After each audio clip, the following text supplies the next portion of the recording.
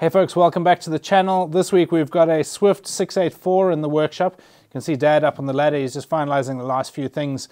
We had to take a Truma uh, semi-flex panel off the roof to just to make space for the array that we were going to put on and we replaced it with a couple of 185 watt Victron panels and there's really no other option to get as much solar as the customer wanted uh, and having that semi-flex panel on there so that's why that semi-flex panel came off and we replaced it.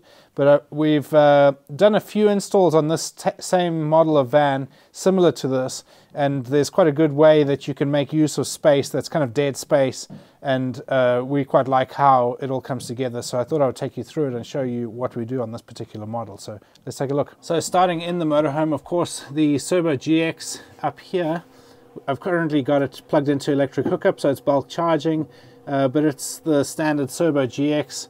Uh, this is a great product to be able to see everything all in one place. Obviously, inputs on the left, system in the center, outputs on the right. So yeah, pretty pleased with that. It's looking pretty good and uh, works nicely there with the existing panel and next to the Truma controller there above the door and uh, pretty easy in this van pretty straightforward to actually get the wires up to here. So we usually run it down the back of the fridge here and then usually underneath the van because this van doesn't have a false floor so that's the easiest.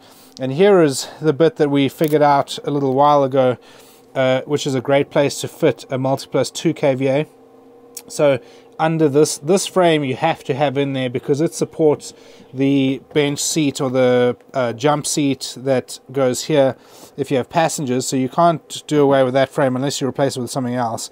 Uh, but if you can take the frame out it's just secured with several screws so some on each foot. And then this board here uh, secures to it as well. So if you take that out it then gives you access to the actual uh, frame that is bolted to the chassis for the seat belt and the seat and you're able to then mount the multiplus onto that which works really well. Plenty of space as you can see the gap between that frame there. There's no rattling and obviously you're mounting it on something very secure so it's a solid mount and that's just dead space anyway I guess the only uh, drawback with this is it limits your access to the water pump and that a little bit but there's still enough space. If you were to take this frame out, there would still be enough space there to get access to the water pump and all that stuff there. So it works really well.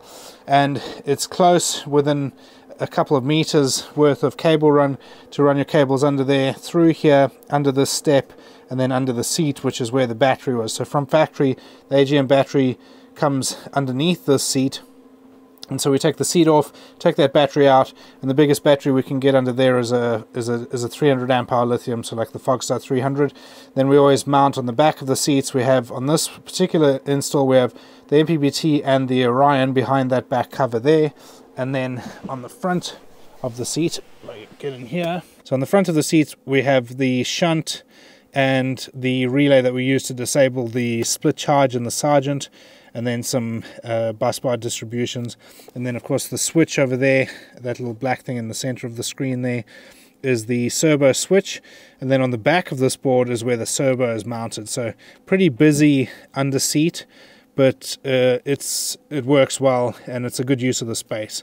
So it's compact and everything fits okay and up here on the roof this is where the uh, Truma solar panel was so the trouble with the placement of this is that it's so close to the TV aerial is that when that thing swings around, it would be shading this panel, so that panel would actually have not been very productive at the best of times. And obviously, if the TV aerial was up, it would cast more shade.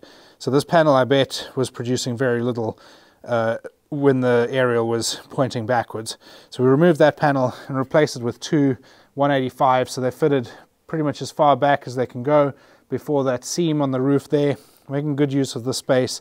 And then of course on the front here you've got the dome, which you don't really want to be putting a rigid panel on. You can put a semi-flex panel on there, but this is so busy with that windbreak there and there's really not a lot of room to put a, a more panels up front there. So this is sort of making the most of the space that's available here. So there we have it folks, massive upgrade for the customer going from like a 90 amp hour AGM battery to 300 amp hours of lithium plus 300 and what's it 360 watts of solar a DC DC charger multi plus inverter charger and a Cerbo GX to monitor everything. So huge upgrade from what they had before, and I'm sure it's going to give them lots of fun adventures off grid. So yeah, thanks for watching, and we'll see you next time. Cheers.